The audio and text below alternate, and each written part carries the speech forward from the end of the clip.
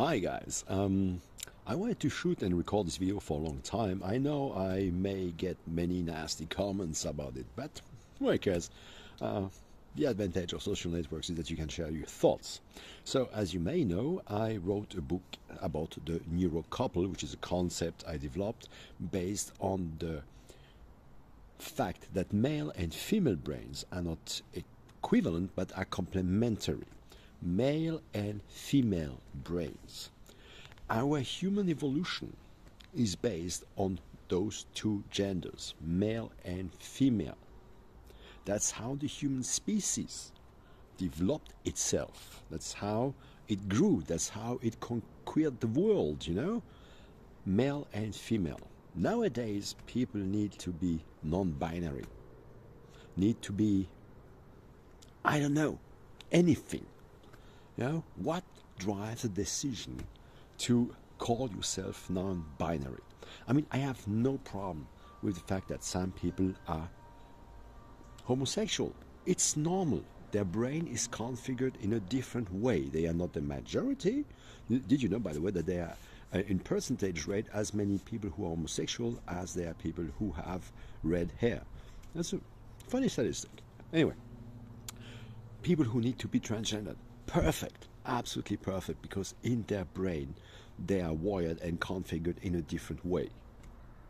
Now, nowadays people come out with so crazy ideas about what they are. In the morning they are a man, in the afternoon they are a woman, and then when I mean, there's so many, so many videos about that, you know, of those guys who uh, wonder what that means. Who people so uh, when those non-binary or whatever ask, but you, who you are? If someone asks me, I say I'm a man, and they ask me, how do you know that?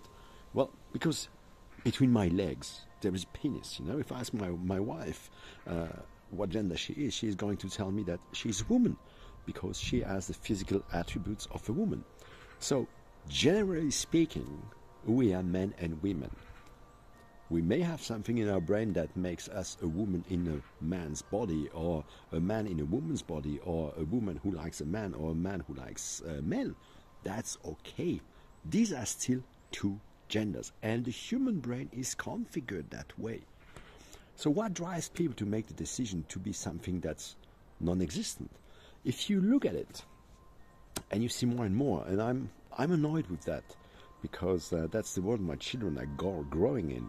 And I'm sorry, I'm teaching my children that there are two genders, men and women.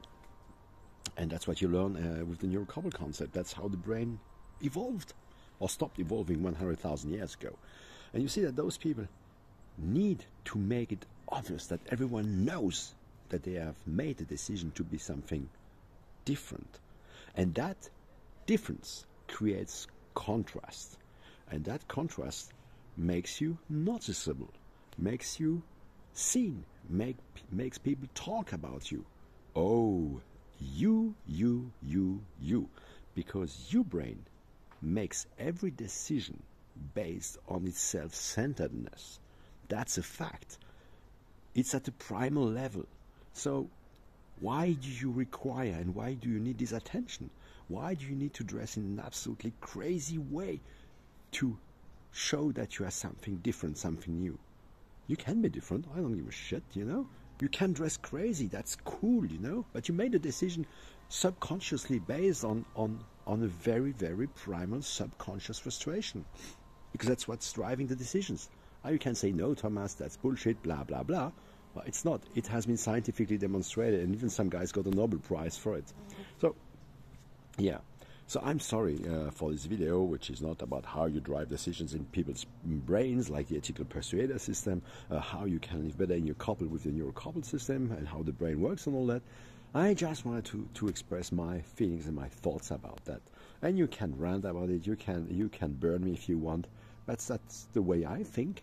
And I made a decision to make this video because I have a subconscious frustration of living in a world that's uh, going in a direction I think is a bit crazy. And my primal subconscious frustration is to keep my kids safe and make them become good people, you know, and help the world move forward to grow safely.